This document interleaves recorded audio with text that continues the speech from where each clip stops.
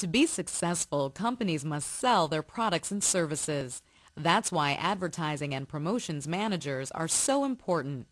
It's their job to come up with ways to boost sales. That would only go up for the first two weeks of every month. Working with the marketing department, advertising managers identify potential customers. They develop a strategy called an advertising campaign to reach those customers. This year is really about consistency. Next is a meeting with the media planning team. They recommend where to advertise. For example, should the ad run on TV and radio or in newspapers and magazines? Maybe on giant billboards or even on the sides of city buses. A creative team then works with the advertising manager to create the ad's artwork and accompanying language. Promotions managers direct programs that combine advertising with purchase incentives to increase sales.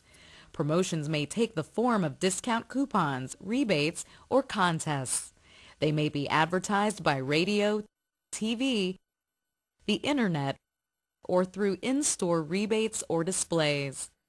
Advertising and promotions managers not only need to be creative, they need to be strong leaders, able to express themselves clearly. Employers will look for people with a college degree in marketing, advertising, or journalism. In highly technical industries, a bachelor's degree in engineering or science plus a master's degree in business administration may be preferred. The hours can be long, and dealing with deadlines can be stressful. But seeing your ideas come to life is a thrill many managers say they never tire of.